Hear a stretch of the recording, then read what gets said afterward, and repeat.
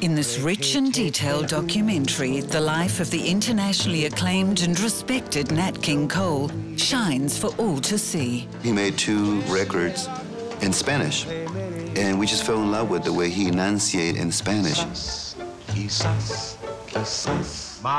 Historians, contemporaries, lovers, and family members speak candidly about his struggle for recognition and his impact on the racial attitudes of his era. His ability to get into the living rooms of America was in itself a statement of racial integration and racial reconciliation. Thinks that I am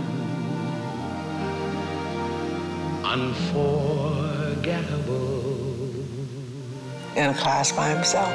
The world of Nat King Cole. Next. That was it with me. I loved it.